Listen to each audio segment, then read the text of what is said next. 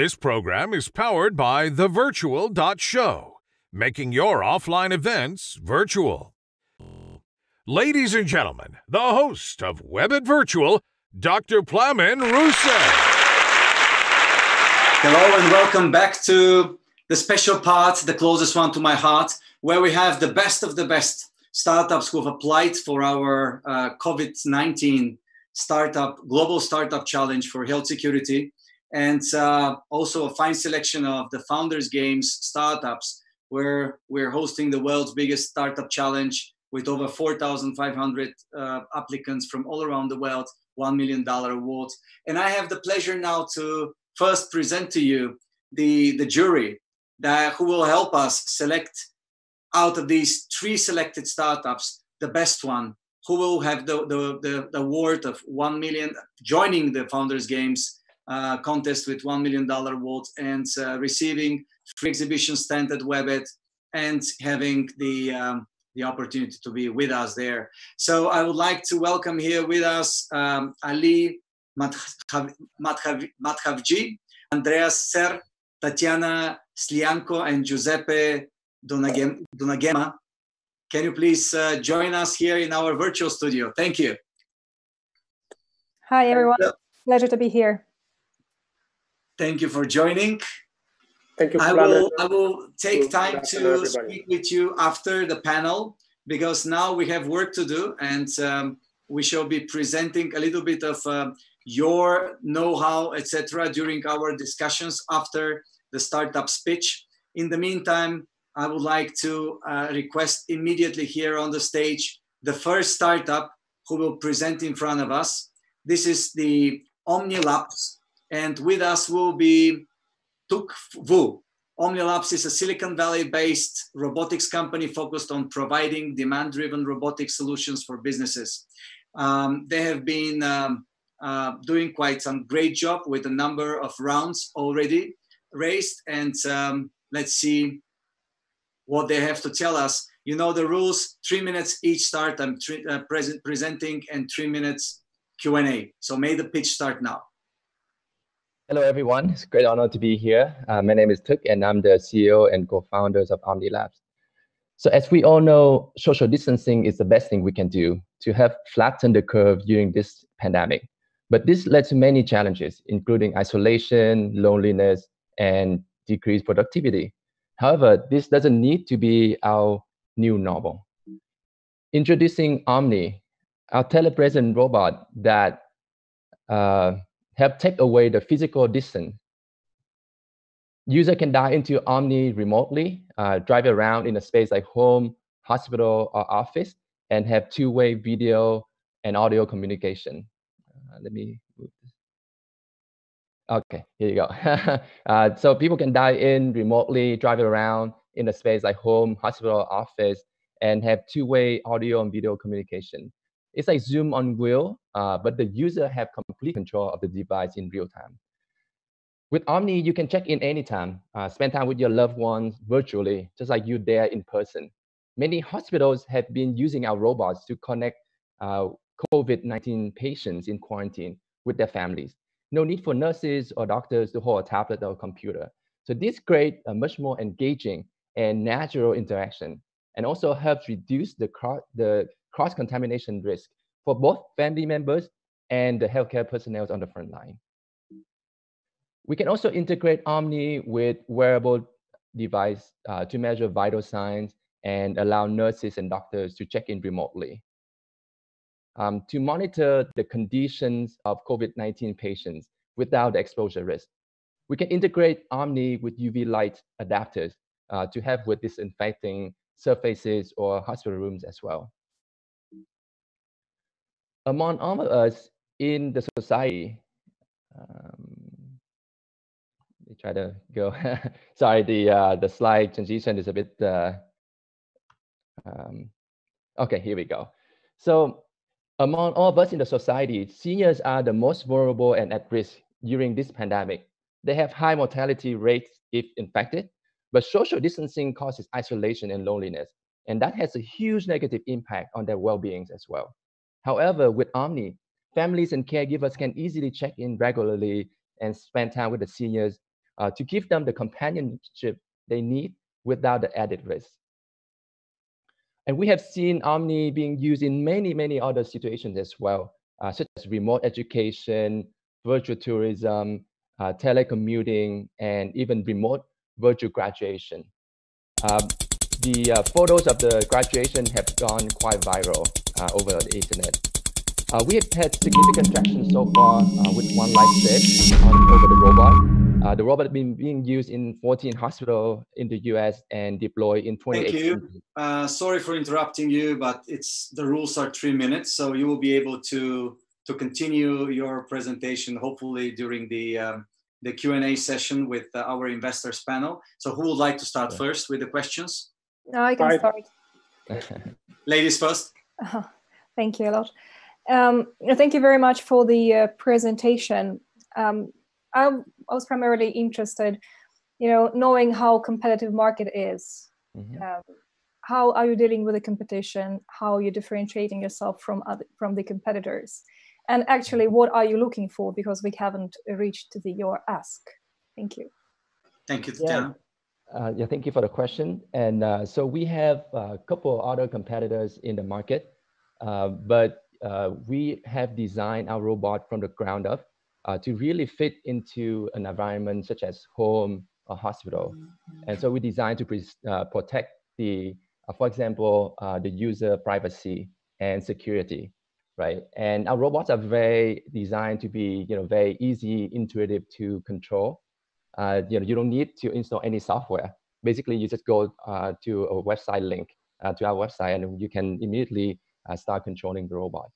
Um, like all of these little things added uh, make a much better user experience for both the local user and the remote user. Um, and then uh, in terms of what we're looking for, uh, we're really looking for partners uh, to help us, you know, bring the, this technology uh, to the hand of user. You know, for example, uh, patients in quarantine or the elderly who are um, at home and you know feeling isolated or lonely. Questions? Yeah, uh, uh, I'll go ahead. So, uh, so, so first off, I mean, uh, great presentation. I mean, very, very useful and something that I think many of us would want for for people that we know.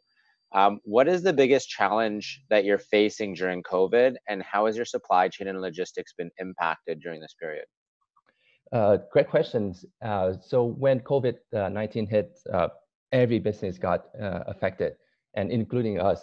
Uh, but you know, very so we based in uh, California, uh, Silicon Valley, and uh, in fact, we manufacture in Silicon Valley. This is very rare for a robotics company.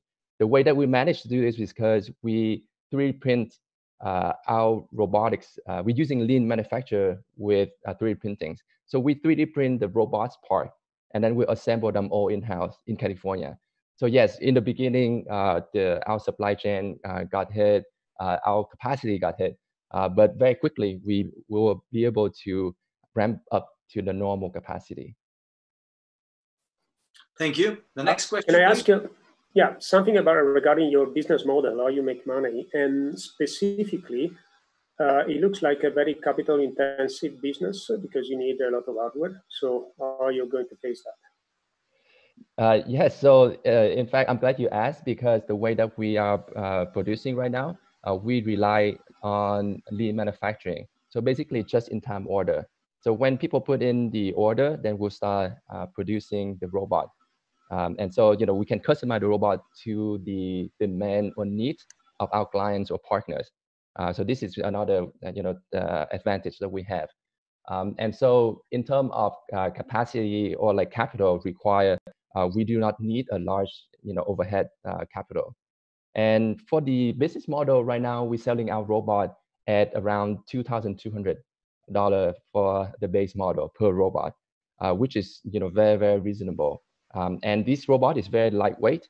Uh, you can fold it, so you can actually uh, ship it you know, around different locations uh, if you have multiple hospital or care facilities.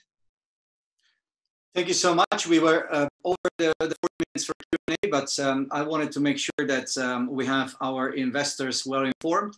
Uh, the, the, flagship of um, of the Ohmni Labs is the Ohmni Robot, award-winning uh, telepresence robot. Uh, it really transforms people connect from their homes, businesses, classrooms, and hospitals. Um, you have uh, raised a number of rounds. I'm not sure if this is publicly announced, but it's um, it's a um, it's a, a, number that gives you uh, the opportunity to grow. Uh, you may mention it if you wish um, at the end.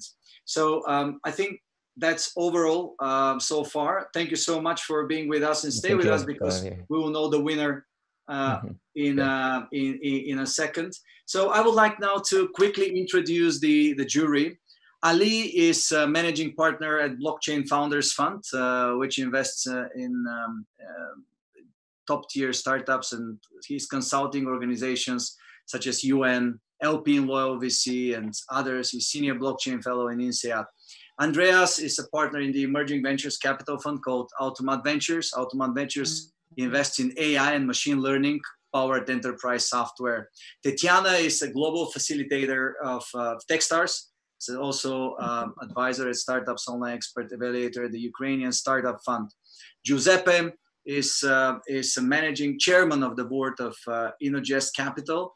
He's uh, past as top uh, top executive in Fortune 100 corporates. Today, he's successfully investing in technology and healthcare startups. Uh, InnoGest is currently the largest venture capital firm in Italy, focused on seed and early stage ventures with uh, over 170 million capital under management. So, um, with with these amazing people here, we're continuing our startup challenge with the next startup uh, I would like to invite here um, Medixine, which with uh, Leslie Rossi.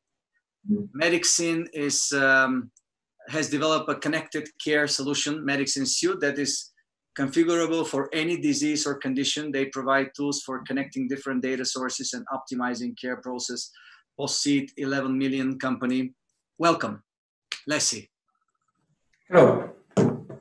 Very, very nice to be here. My name is Lasse Rausi, and I'm the CEO of Medixine. Three minutes start now. Okay, thank you. Uh, the slides are not at the beginning, but I won't mind. I'm very happy to be here and tell you about our company. We are a growth company based in Finland, specialized in telehealth and connected care. Uh, there are 17 of us from a wide field, uh, from medical professionals to technology experts, all with a long experience in healthcare IT. Uh, we finished developing our solution a couple of years ago and have then signed our first major international customers, including VU regions in Denmark, Nestle Health, NHS, and Linde. And with this, reaching a population of over two and a half million end users. Now, when we have our product ready, we have shown it really delivers. We are starting to ex expand more rapidly to Europe. Uh, Medixine Suite, our main product, that's a solution that I believe every medical uh, medical professional should have now, and something that everybody will need in the future. It's a solution unique with over 100 years of combined experience from our team. It has all the tools needed to deliver remote health services, and it can be used also practically for any disease or condition. So no more point solutions, specific apps for a specific purpose, but a single platform that delivers them all.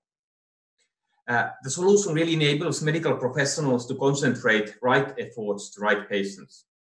The people who need help from medical professionals will get it, and those who can benefit from self-help and instructions will receive that. All this is done with remote vital signs monitoring, questionnaires, and screening. And is delivered with video appointments, chats, and secure messaging. And with this, we can partly solve the big challenge healthcare is facing now in Europe and actually globally. The solution is very user-friendly and easy to adapt to different requirements. No apps, just a web link. And I think one of the perfect examples of this is our coronavirus-specific solution. It's based on our platform, but tailored from the data and information available from the solution enables for population screening and treatment follow-up remotely without risk of infecting medical professionals or other patients. And then with this data that, that we are using to screen and treat the patients, the data from the vital signs monitoring, medical instruments, wearable smartwatches, combined with the data from questionnaires, treatment follow-up, and so on. We really have a set of data that's extremely valuable in understanding and treating this pandemic, as well as the future ones. Thank you very much, and thank you so much for being uh, on time. Uh, I would like to request now the jury panel to start with their questions. Who will start first? Maybe I will start. I have a question regarding the scalability of the solution because uh, I guess you are operational, you said in Finland for sure, and maybe in another country or two. Yeah. Uh, but this is very much dependent on the uh, the doctors that are available in mm-hmm. town or in country, and then having uh, the the information marketed uh, among the users in that area. So, how do you scale these uh, to to multiple countries? Well, this is something that we have been focusing right from the beginning. Uh, our founder is a medical doctor. Uh, our professionals have done projects for over 10 years in different countries. So really the backbone of the whole solution is the easy, easy configurability to different countries and different use cases. So there is no coding or needed uh, to tailor this to a specific use case. We can do it in the system. So it's really uh, I would call a software as a service. We can really scale it up easily, and that's we. Can I ask? Um, Please, yes. What's your payback on customer acquisition costs? How quickly do you, um, you know, without necessarily going into details, we haven't got the time, but how quickly do you get that back? Well, uh, that depends very much. The healthcare business is uh, a bit strange. So let's say that in the public sector, it's rather sales times or lead times. But uh, uh, then in the private, it's actually quite rapid. And with the software as a service model, we get it extremely fast back. And now with uh, everything happen, happening in with coronavirus and telehealth really booming, uh, things are moving forwards very nicely. So Thank you. Uh, my, my question, question Yeah. So so first, I mean, I good presentation. I saw the references on your website, and I was impressed by you know the range of your support from students all the way to you know healthcare workers. Um, but one of the things, in addition to scalability, is rollout, right? And so when you look at uh, basically the adoption uh, and challenges of customers being able to use it and the mm-hmm. training or what they would need to know, as well as the healthcare professionals what does that look like in terms of, of process and challenges that they're facing to, to start using the product? Thank you, well, Aly. This was the last question. Please go ahead. Yeah, well, of course, this is a point uh, very important, especially at the moment when the healthcare workers are very busy with treating their patients. So we need to have, and we have a solution that's really easy to roll out, and we are getting actually very good feedback from our, customers. One of the big ones, uh, being a global corporation, is rolling this out in different countries and they have their uh, and we are getting very good feedback now from the two, two first countries where the users are very very happy uh, with the experience and the idea that they actually the system is so simple to use that it kind of teaches the user on, on how, how to use it and we are not expect getting uh, problems with that at all thank you so much thank you for for taking part in the challenge and please stay with us um, until the last uh, the last word is set. Now I would like to invite our last um, uh, startup and competitor in this um, in this today's program, Felipe Burattini from uh, Dandelin. I'm I'm expecting uh, Felipe to join us. Uh, in the meantime, a few words. The Dandelin combines artificial intelligence and sharing economy principles to democratize access to healthcare. Felipe, the floor is yours. Until now, we had uh, participants from from Silicon Valley and from uh, Finland. I guess. I, I was I was hearing everything. I was just with the video off. I'm sorry, I didn't notice. Wonderful. Where are you from? I'm from Brazil originally. Brazil. All right. So um, let's. The floor is yours. We will be having three minutes. Let's start now. Thank you. Uh, so. Uh, I'd like to thank you all for your time and attention and for the opportunity of pitching the solution at Webit. My name is Felipe Burattini, and I'm the founder and CEO of Dandelin, a sharing economy solution to democratize access to healthcare. Dandelin was launched in April of 2018 in Sao Paulo, Brazil. And we have organically acquired so far more than 4,000 patients and 800 doctors from more than 60 different specialties with a capacity of helping more than 40,000 people every month. The need for our solution arose because, according to the World Health Organization, less than half of the world's population has access to basic health services, Every year, 800 million people spend at least 10% of their household budget on doctors, and 100 million people are pushed into extreme poverty due to unexpected health costs. It's time for us to accept that inequalities are not a footnote to the health problems we face, they are the major health problem. At Dandelin, we believe that health should be a basic right for everyone. So our challenge was not only to know how we can improve things for the poor, but mainly how can we get everyone's health up to the standard of the richest without anyone having to worry about their financial health? And our answer was through sharing economy. We realized that by dividing the real costs of health equally among all users in our community, it would be possible to give unlimited access to primary care for everyone for no more than 50 euros a month. But sometimes it's not only about grand vision, it could be more about grand adjustment. And with the crisis uh, brought by the pandemic, the challenge changed. And we had to adapt our product to help as much as we could in the fight against COVID 19. And if there is something that we've learned during the pandemic, is that the key to living in society is empathy and connectedness. So we optimized our product to bring people together and build communities of doctors and patients willing to help each other. With that, we can not only help by keeping people away from hospitals so doctors on the front line can better direct their efforts to what they really need to, but also by providing a way for people to get instant care, both physical and psychological, whenever they need it, in person or from the comfort of their homes through video consultations.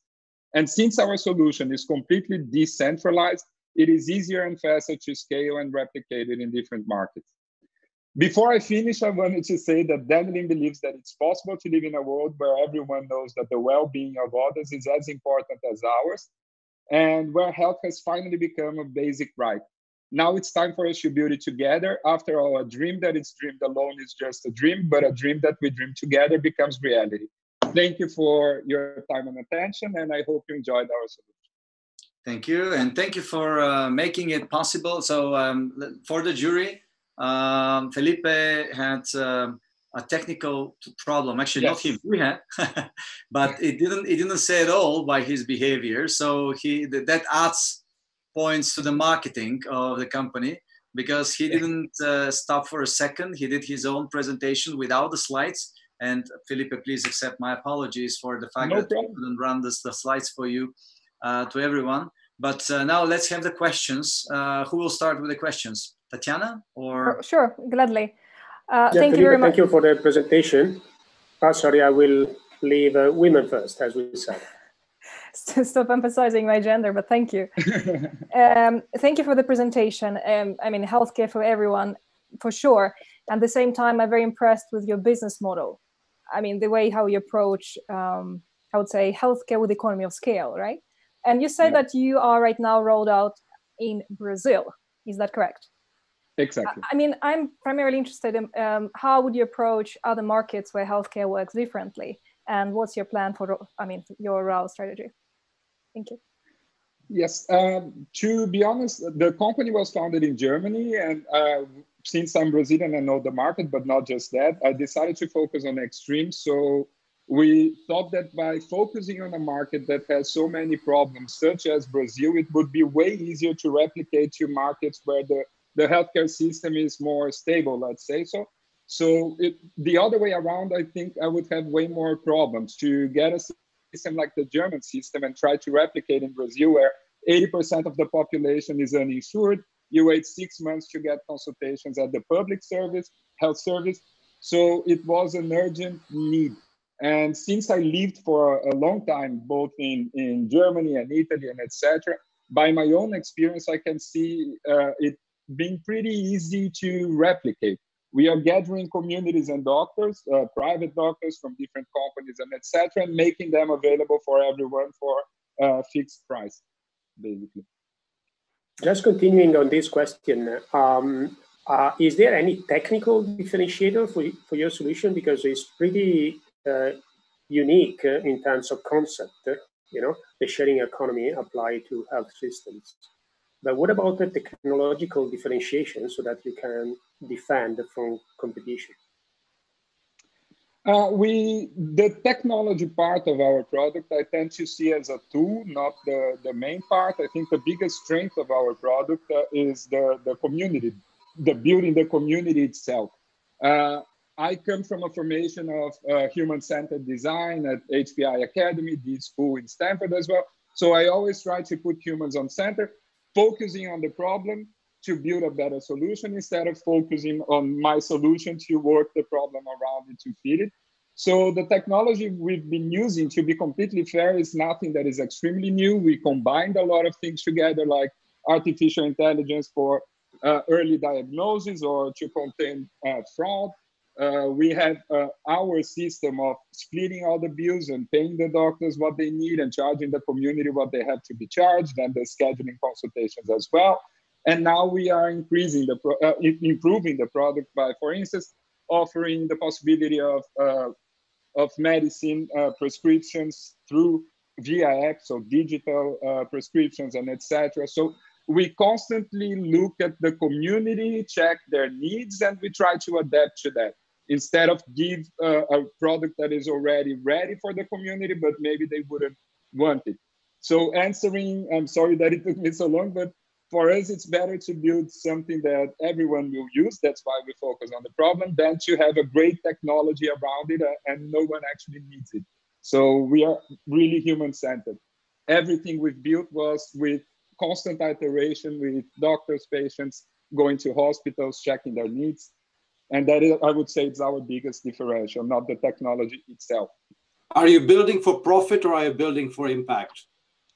We are a social uh, startup. We do focus on profits, but it's not our main goal. We, we see that if you have a problem as big as, as the one we are trying to solve, uh, the profit itself is a consequence if you build a product that is good enough to fulfill the needs of the people that you are targeting it to. So our goal is not profit. We are not profit oriented, but of course we want to be profitable. We have plans of becoming a unicorn. Our plans uh, of, of, being profitable. We are still not. We launched recently, but we are getting there. Uh, but yes, we we focus on profits, but it's not what uh, drives us. Okay, we stop here. Uh, Felipe, the long answers doesn't give you too much of advance, but uh, Sorry. still, please go ahead for shorter but sharper. I would say that would be Yes. playing a better, better, better for you. Uh, next time we shall be having also um, uh, someone from our community who will be reflecting on the startups pitches and will be giving live feedback after the pitch is done. Uh, what are what were the strengths and and and and, uh, and cons of, of the pitches so that all the startups who listen now to us, we have around the 1,600 people li- uh, at the live stream currently, uh, will be well informed of how they can improve their own pitches. But beyond all, you, you're all done great today, and uh, I'm very grateful. It's unfair competition, I would say, because the first two startups uh, had a um, 10 plus million investments while Felipe is here with uh, a little bit of post seat of uh, 350k. So it's it's not a fair fair comparison. I understand, but life is not fair. So um, uh, don't forget, dear jury members, that now I would like to request for your quick but uh, very strict and, and very to the point uh, overview of, uh, of the uh, of all the startups. Help them understand what are their strengths and weaknesses because that's the whole idea and don't forget i already have most of your of your vets and um, uh, whatever you do you should know that uh, currently you're not investing your money you're investing my money. So uh, please please be honest. So um, let's start again with uh, tetiana tetiana could you please tell us what is your um, uh, what, what is your feedback for the three startups and uh, who do you think should win? Ha. I think it's you who should be announcing the winner, right? I mean, I should be keeping my neutrality. um, quick feedback for everyone. I mean, um, I truly believe. I mean, all those three pro, three companies are fantastic, and especially in this time, they are tackling the most of the hardest challenge of them all: healthcare. Um, for, for the first one, OhmniLabs, I think here is distribution is the key. I mean, I mean they have a great um, great advantage they that the company 3D prints all the details and assembles, assembles in US and locally. Yes, but at the same time, um, distribution, I mean, uh, partnerships and uh, sales. Actually, that's actually what drives the success. And again, I think I, I mean I'm, I have been doing the marketing research for the for the for the market of the of the robotics. Um, I mean for this specifically issue. Um, and I mean, I mean, say that market is very crowded, or there is a lot of competition. How to stand out? I mean, yes, to be present in the in the media is great, but I think there is uh, mm-hmm. something more needed. Quickly, I know that'll take time. Um, the second one, guys, guys from Finland, um, Medixine, right? I hope I pronounced correctly. Again, it's a very tricky industry because uh, living in Nordics, I know that um, there are more and more companies looking into the uh, one, I mean, peer-to-peer healthcare or whatever it's called. Um, and again, there is a there is a big potential, but um, at, the same time, I mean, knowing how is actually structured, I mean, who is actually the customer? Is the private hospitals, the state hospitals, or how, what, is, what are the way to approach the chicken egg problem? It's always there. And last but not least, Dandelin. Uh, here, I mean, my, my biggest concern is the different economies and different actually uh, healthcare uh, systems and how to how to tackle with the subsidized um, a country or country with subsidized healthcare and this community approach, but actually who's getting money? I mean, how, what's the business model there? Is it doctors who are paid, or is it actually um, the hospitals who are, who are reimbursed for the doctor's time? I mean, here this part was not clear, but I believe the in the uniqueness of the approach, and definitely, I mean, uh, a big big luck to everyone, and thanks for the great presentations. Thank you so much, Tetiana. Um, maybe maybe Aly Absolutely. So uh, I'll first request off, a shorter shorter uh, wrap up, please, if possible.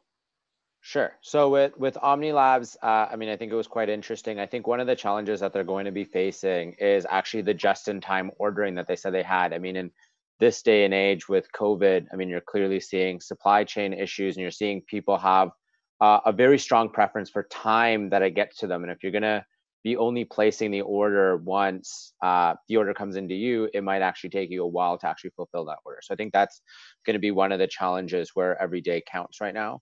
Um, and then of course, just the scalability of, of just the robotics aspect um, does, does add some challenges.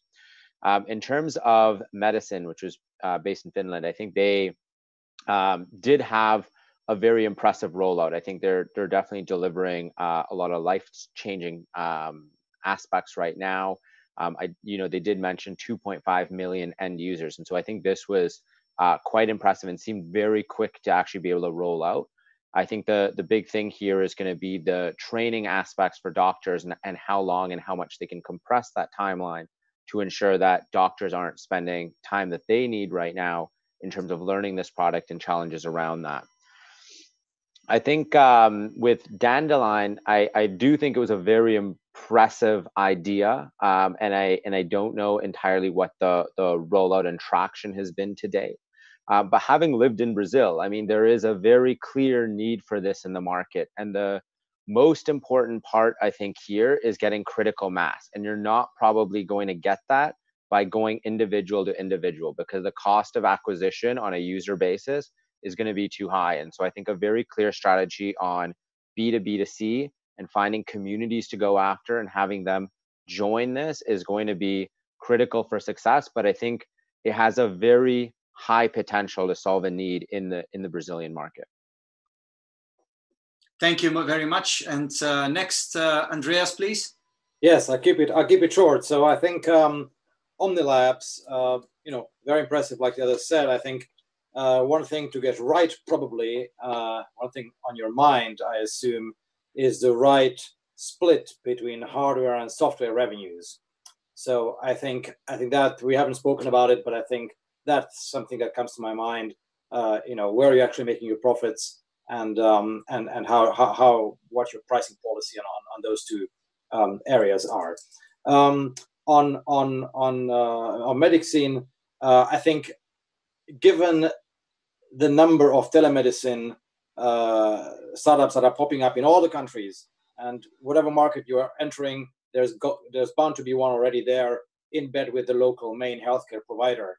So I think the main challenge there is competition, and there I would I would have a philosophy of unashamedly B2C, ease of use, um, uh, very sort of simple uh, UX, uh, both for the for the consumers, I mean for the, for the patients as well as for the doctors on both sides. It's got to be, I think, a a, a B2C app, uh, fully fully uh, uh, trained on that, rather than sort of have this kind of um, semi B2B still in mind, because otherwise adoption is going to be a difficulty.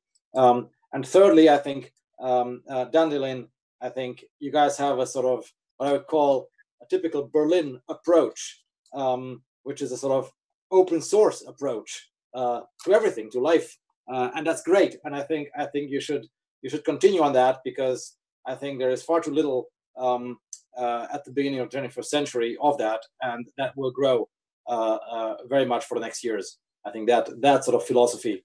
Um, so that's great. Thank you, Andreas. And uh, last, Giuseppe, Beppe, could you please share your thoughts? Yeah, so starting with Ohmni, I would say for, for sure there is a big potential, uh, but also big challenges on the hardware and the capital intensity required to have a success there. So I think that there, there is a need to focus much more on that front.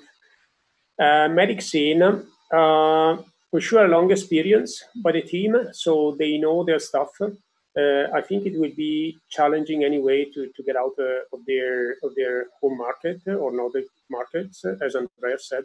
So I, I think I agree with this uh, with this point on that front. Dandelin, uh, I think it is very very unique idea, you know, applying circular economy to, to the health system. So I really like that. I think it will be a challenge to replicate uh, in few other countries. So they need to, to find their way to get there. But in my opinion, uh, overall, it was uh, the, the, presentation I liked the most. So I also gave you my opinion, the only one. Thank you. Thank you so much. Well, uh, I see I see the jury members and what they say uh, but also I see what they've put as, as numbers, uh, vetting the team capacity, project scalability, business approach, the marketing approach, and the uniqueness of the idea. And um, the numbers actually are very close. The three startup has done have done great job, obviously, and um, um, it will be it will be a tough choice between the three. Uh, it was only me to add my numbers here, and I did it um, on a separate note and um, I would say that there is only one winner. And it's always like this. And I and I have to say who is the winner now. And um, I know that you, you are all waiting for that. And uh, I don't see all of you live. Uh, I don't see Thuc Vu from Ohmni Ohmni Lab. All right, you're back. Okay. So now I see the three of you. Uh, and you have a good reason to be smiling because you, you really done great job. All of you have done great job. And I think that uh, what you have managed to, to create and what you represent here is, is phenomenal. And um, that's why the numbers, that's why you've managed to raise so many rounds, except for the last startup. That's why you're building up and, and you're winning awards. And the winner is. Drum roll. Medixine. Congratulations, Medixine. I tell you why you won. The jury members, all of them collectively, committed to the last startup, Felipe.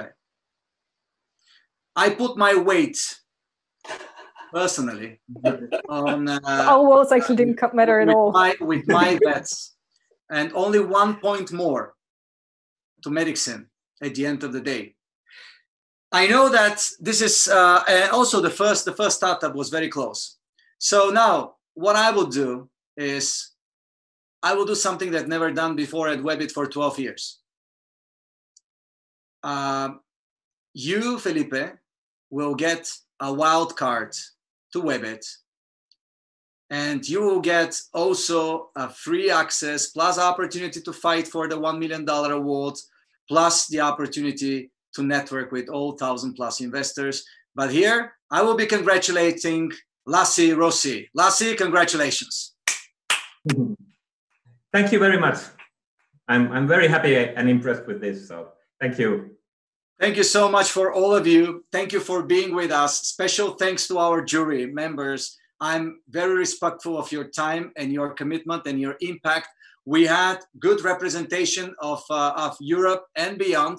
Uh, and we had amazing startups from Silicon Valley, from Finland, and from Berlin, originally from Brazil.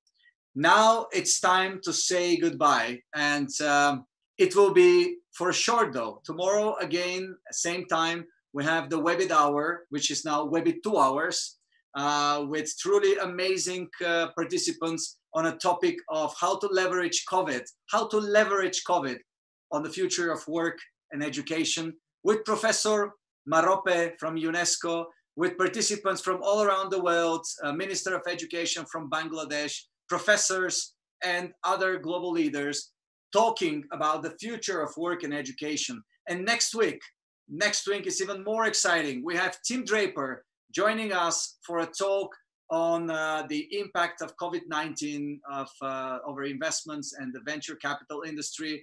And we have on 23rd of April, on 22nd of April, we're having the father of internet, Vint Cerf, Dr. Vint Cerf, joining us together with um, the, uh, the head of our program of uh, speaking about geopolitics and the impact of COVID-19 on this. And there are some more exciting uh, events coming up next week. Stay tuned. There is a huge surprise waiting for all. Now, I would like to thank all the participants who are with us. The first part with Senator, with our guests from, from uh, India and uh, Brazil, and the second part with the amazing uh, and um, uh, Europe, and the second part with the amazing startups founders, and with the jury, the honorable jury of investors. Now, all I have to say is